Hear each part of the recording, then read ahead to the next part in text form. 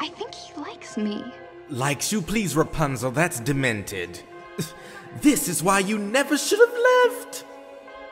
Dear, this whole romance that you've invented, it just proves you're too naive to be here. Why would he like you? Come on now, really. Look at you! You think that he's impressed?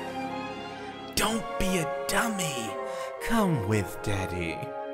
Father. No! Uh, no. Oh. Okay. I see how it is. Rapunzel knows best. Rapunzel's so mature now, such a clever grown-up miss.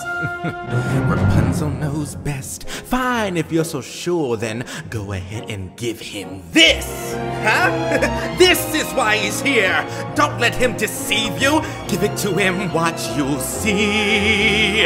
Trust me, my dear, that's how fast he'll leave you. I won't say I told! No, Rapunzel knows best! So if he's such a dreamboat, go and put him to the test! If he's lying, don't come crying.